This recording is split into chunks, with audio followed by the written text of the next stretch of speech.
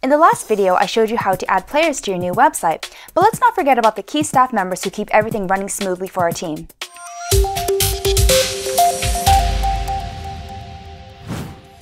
Okay, so now we can move on to creating our staff profile pages. The demo data has already added one staff member for us, but unless your staff member's name happens to be Bobby Brown, we're probably going to want to change this.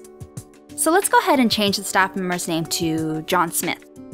We can assign him the job of coach, which we created by going to the jobs section under players and staff.